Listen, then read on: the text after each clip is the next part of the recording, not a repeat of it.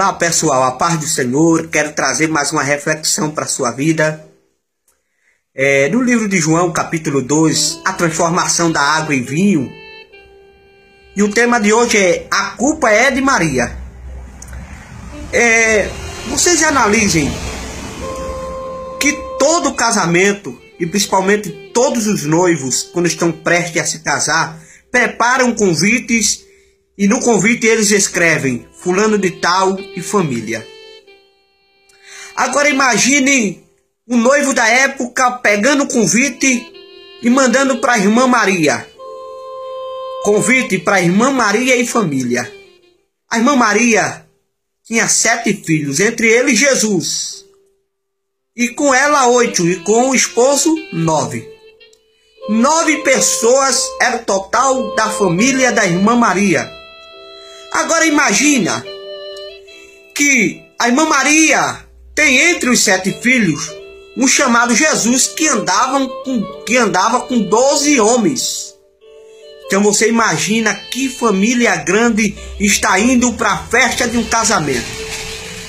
E quando falta o vinho, quando falta o vinho, procuram quem? Procuram Maria. Maria é a culpada.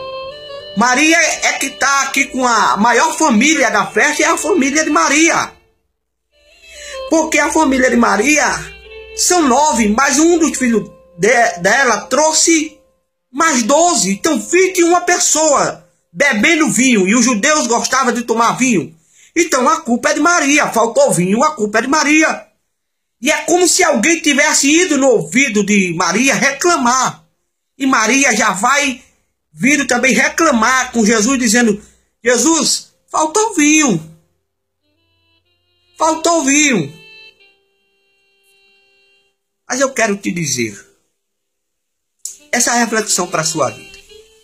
Se Jesus chamar, não se preocupas.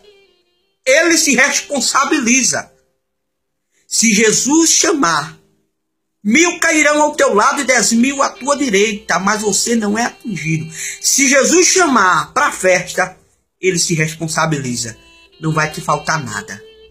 Pode todo mundo reclamar, mas a tua necessidade, as tuas necessidades serão supridas. Que Deus abençoe. Que Deus multiplique o teu pão de cada dia.